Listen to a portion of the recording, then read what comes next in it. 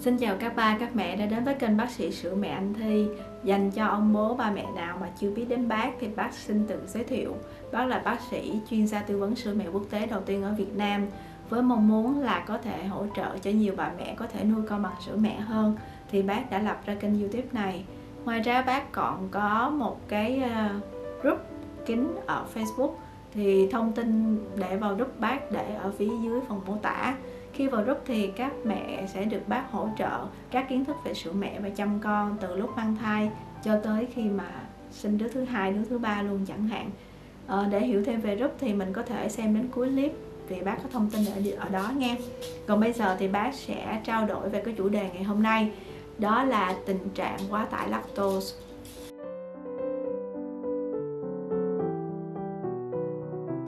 Lactose là một loại đường quan trọng trong sữa mẹ nó giúp phát triển hệ thần kinh võng mạc cho bé. Lactose trước giờ thì mọi người vẫn nghĩ nó có nhiều ở sữa đầu và ít ở sữa sau. Nhưng gần đây người ta nghiên cứu thấy là cái tỷ lệ lactose trong sữa mẹ ờ, ở sữa đầu với sữa sau là gần như nhau nha. Đây là một kiến thức mà mọi người cần nên cập nhật. Chuyện gì xảy ra với lactose trong sữa mẹ? Nếu bé bú sữa đầu nhiều Nguyên tắc đầu tiên các mẹ cần nhớ đó là lactose sẽ được hấp thu chủ yếu ở phần ruột non của trẻ. Thì ở phần ruột non nó sẽ có một cái men gọi là men lactase. Men này khi mà nó gặp lactose nó sẽ bẻ nhỏ lactose ra thành những cái phân tử đường nhỏ hơn để giúp cho bé dễ hấp thu.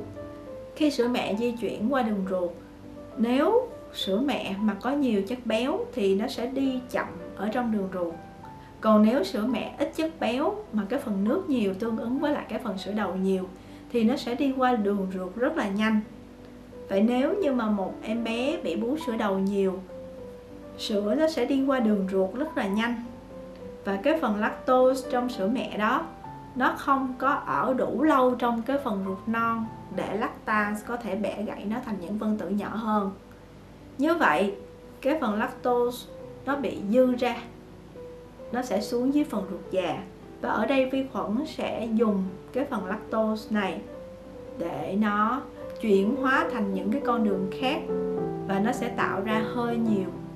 Nó sẽ tạo ra cái môi trường axit nhiều, nên dẫn đến cái tình trạng quá tải lactose cho bé. Bé sẽ có biểu hiện là đầy hơi, xì hơi rất rất là nhiều. Nước tiểu trong nhạt màu nhưng mà phân thường xuyên xanh, đi rất nhiều lần và thường có bọt bé bị hâm đít rất là nhiều. Còn nếu như mà bé bú cân bằng cả sữa đầu và sữa sau, thì cái sữa nó đi qua cái ruột non, nó có nhiều béo, thì cái đoạn đường đi đó nó sẽ đi chậm.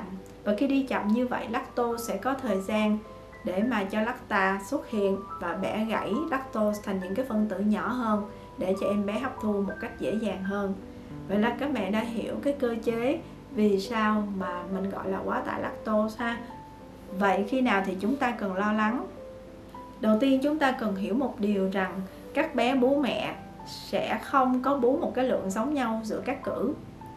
Ví dụ như người lớn mình đi, khi mà người lớn mình ăn cơm á, mình đâu có cân đông đo đếm mình ăn bao nhiêu gram gạo, bao nhiêu gram rau, bao nhiêu gram thịt đâu, mà mình sẽ ăn cho tới lúc mình có cảm giác no thì mình sẽ dừng.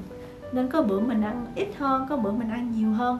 Em bé cũng vậy, khi em bé nó bú mẹ trực tiếp em bé nó sẽ không bú giống nhau ở các cử.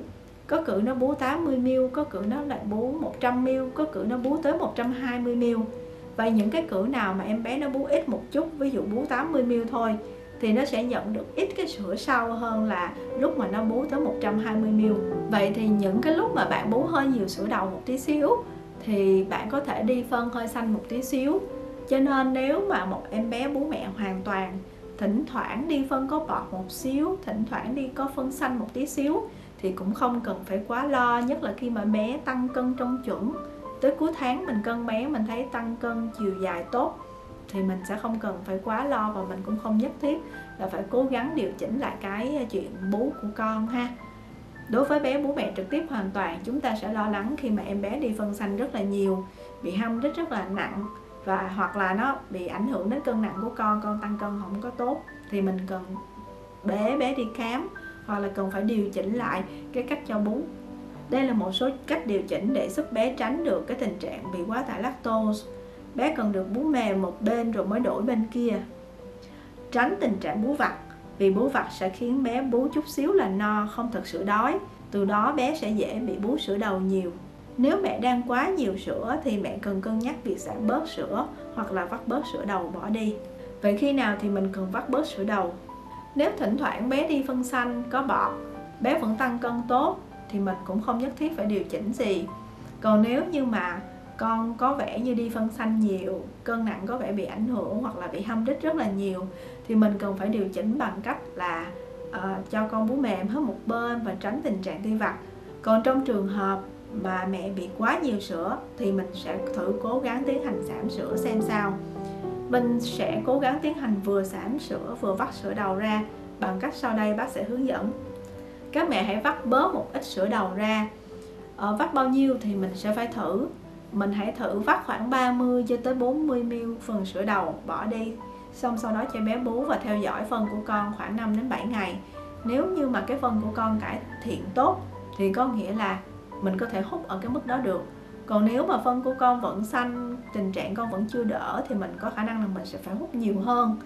Đặc biệt là nếu như mà mình hút ra 30 40 ml bé bú xong mà cái ngực của mình vẫn còn căng á, thì mình nên là tiến hành hút nhiều hơn nữa. Làm sao để khi mà mình vừa hút cái lượng sữa đầu đó ra và bé bú mà cái ngực sau khi bé bú nó mềm, để mình biết là bé nó đã nhận được nhiều sữa sau rồi ha.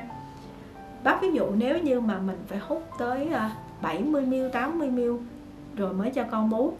Vậy thì không lẽ mình cứ hút như vậy hoài? Mình sẽ không hút như vậy hoài nhé. Mà mình hút như vậy 70 ml 80 ml xong mình cho con bú. Khoảng chừng 5 7 ngày mình thấy ổn ổn, mình giảm xuống. Mình hút còn 50 ml thôi, mình không hút 70 ml nữa. Mình duy trì như vậy tiếp tục khoảng 5 7 ngày, mình lại giảm xuống, mình hút 30 ml thôi, mình không hút 50 ml nữa. Và từ từ mình sẽ giảm dần cái chuyện hút sữa đó ra mà mình sẽ cắt đi. Đây cũng là cái cách để mà các mẹ giảm dần cái lượng sữa trong ngực của mình luôn. Bởi vì một khi mà mình giảm từ, hút từ 80 xuống 50 chẳng hạn, là mình đã để sữa lại trong ngực khoảng 30 ml rồi, thì cơ thể sẽ hiểu là dư và nó sẽ giảm dần ha. Và với cái cách giảm này, nó cũng sẽ đỡ tắc tia hơn vì mình giảm từ từ. Mà mình cũng phối hợp được với cái chuyện là con nó sẽ bú được nhiều sữa sau hơn. Ừ, sẽ tránh được cái tình trạng quá tải lactose cho con. Vậy là các ba, các mẹ đã có thêm những cái kiến thức về cái tình trạng quá tải lactose của bé và biết cách để mà xử lý để cải thiện cho cái à, đường tiêu hóa của con tốt hơn. Bác xin hẹn các ba, các mẹ ở vlog lần sau. Ngoài tư vấn trực tiếp hoặc video call, các mẹ có thể tham gia vào group nuôi con bằng sữa mẹ cùng bác sĩ sữa mẹ anh Thi theo hướng dẫn trong phần mô tả. Khi tham gia group, mẹ sẽ được bác sĩ anh Thi trực tiếp giải đáp thắc mắc cho từng câu hỏi. Bác sẽ đồng hành cùng các mẹ từ quá trình mang thai, chuẩn bị kiến thức sữa mẹ qua hơn 30 bài học trong group và tiếp tục đồng hành giúp mẹ bình an nuôi con bằng sữa mẹ từ ngay sau khi sinh cho đến khi bé ăn dặm và có thể đến bé thứ hai, bé thứ ba, bé thứ tư luôn mẹ nhé. Đường link hướng dẫn đăng ký vào group ngay ở bên dưới phần mô tả thông tin của clip này. Thương chúc các mẹ luôn bình an và thuận lợi trên con đường nuôi con bằng sữa mẹ.